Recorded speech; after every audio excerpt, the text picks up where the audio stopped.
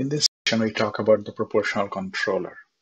We have seen that for the on-off control, the output does not stay at the set point, rather it oscillates around the set point value. Now, then how to really manipulate the input signal? Uh, just think about a scenario where you're merging from a road to a highway and the speed limit goes to say 50 to 100 kilometer per hour.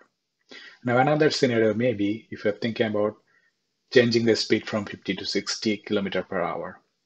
Now, would you change the fuel flow in the same way for both cases?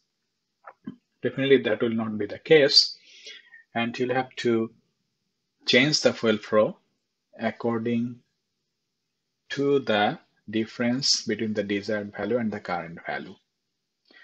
So when the output is further away from the set point, definitely more control action will be required. So this is the basis for the idea about this, what is called this proportional control. Now, we know that the difference between the desired value and the current value is denoted by what is called this error signal. So the error signal is defined as is ET equals RT minus YT, where RT is the reference signal or what is called this set point and what is the current value of the output. So the larger the output, the larger should the control action. So this is the idea about this, what is called this proportional control. So for proportional control, we have this control action or U prime T is proportional to the error signal. Now if you take a proportional constant, something like Kc, so prime T is Kc So depending on Kc, the larger the error, the larger the control action. Now here note that this control action is expressed in terms of this deviational form of the variable. Okay. So the controller commands a change in the input when there is an error. So if there is no error, there will be no change in the input. And as the error gets larger and larger, the control action will also be larger and larger. So this is the idea about this what is called the proportional control. Now, now to express in the real value of the input signal, we see that we need a what is called this the bias or the null value. Now what it is, if you think about your driving at 50 and your set point is 50, so the error is zero. In that case, the u prime t is zero. But definitely you need to have a fuel flow to the engine. And that's what is called this U bias. Okay. So the value of the uh, input signal at this point is called this bias or the null value. And the UT, the absolute value of UT is U bias plus this what is called this deviational form. Okay. Now let's see what happens when you apply this proportional controller to the tank process. Now you see here that the yellow line shows the value of the set point and the white line here. So this is the set point and this is the output value. Now you see that there is a, at a steady state, there is a difference between this set point and the output value. Now why is this happening? So why is this controller? The job the controller is to take the process to the set point. However, in this case, it's away from the set point.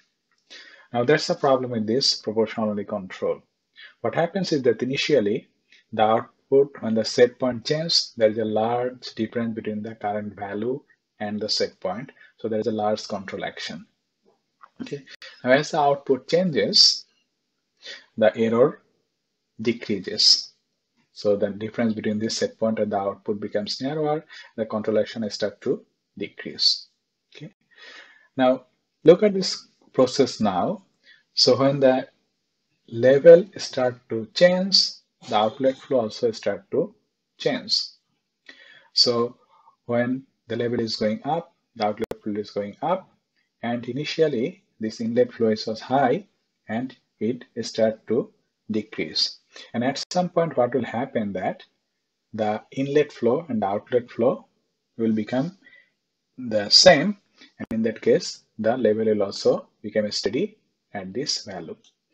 Action is taken proportional to the error signal. When the error signal becomes constant, the controller output, that is the process input also becomes constant. So there will be no further change in the label. So that's why there is always a difference between the set point and the value of the output at the final steady state. This is what is called the offset. So for proportional controller, it will always result in an offset. Now, if you increase the gain, the offset will reduce. However, there will be always offset for this proportional only control. So we see that the offset occurs under this proportional control when the set point and or disturbances are at values other than that used to determine this, this bias value. Meaning when the control output equals the bias value, it's at the desired set point. So for this case, this, this level 4 meter, that was the basis for which the U bias was determined and it's there at the set point. But for any set point other than this, the output will not be at the desired set point. Rather, there will be some offset. Now this offset can be reduced by increasing the gain. However, it cannot be eliminated entirely. The offset results because the control action becomes constant even when there is a the error is not zero. So this proportional control, it's simple. There is only one term, this KC. However, we see that there is an offset that what we do not want. So this gives rise to the concept that, okay, then we need a function that will not become constant and, until the error term becomes zero. So what's that function? We see that the integral is such a function that will not become constant until the error becomes zero. And that gives rise to the concept what is called this integral control.